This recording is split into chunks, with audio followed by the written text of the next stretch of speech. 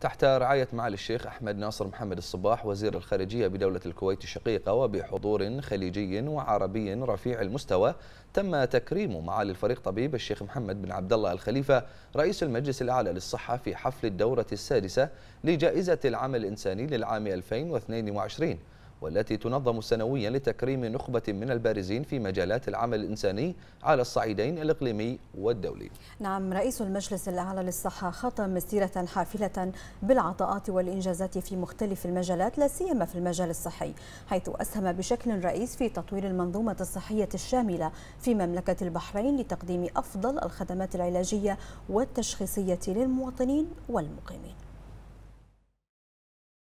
سطر معالي الفريق الطبيب الشيخ محمد بن عبد الله الخليفة رئيس المجلس الأعلى للصحة مسيرة حافلة بالعطاءات والإنجازات في مختلف المناصب والمهام التي تولاها في مختلف سنوات عمره لا سيما رئاسته للمجلس الأعلى للصحة منذ ديسمبر عام 2014 وحتى الآن. فهو رجل متعدد الاهتمامات والمسؤوليات وصاحب مبادرات عديدة في مختلف المجالات وهو من عمل على تهيئة الأرضية المناسبة وبناء الاستراتيجيات اللازمة لتطوير القطاع الصحي والطبي وخصوصا على صعيد تعزيز كفاءة الخدمات واستدامة الموارد الصحية والتنسيق مع جميع الأطراف في القطاعين العام والخاص ومد الجسور مع المؤسسات الدولية المعنية بقطاع الصحة والتأكد على تجسيد مبادئ الشفافية والعدالة والاستدامة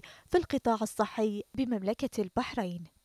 فعمل معالي الفريق الطبيب الشيخ محمد بن عبد الله الخليفة وما زال يعمل على وضع الاستراتيجيات الوطنية للصحة في مملكة البحرين ومتابعة تنفيذها مع الوزارات والمؤسسات والهيئات المعنية بجانب تطوير معايير جودة الخدمات الصحية واتخاذ التدابير اللازمة التي تضمن احترام حقوق وسلامة المستفيدين كما يحرص معاليه دائما على تشجيع وتنسيق تنسيق البحث العلمي في المجال الصحي وتنظيم المؤتمرات الصحية وزيارات المختصين لتبادل الخبرات ووجهات النظر حول كل ما يتعلق بالقطاع الصحي.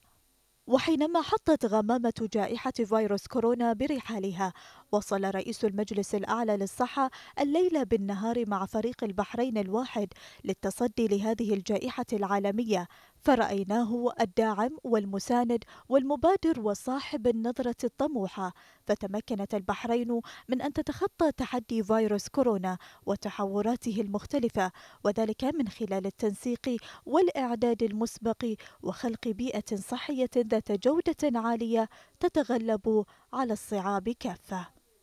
معالي الفريق الطبيب الشيخ محمد بن عبد الله هو أحد الأبناء البارين بأمهم البحرين. قدم سنوات عمره لها وها هي كانت وما زالت تفخر وتقدر كل ما قدمه لهذا الوطن وأبنائه.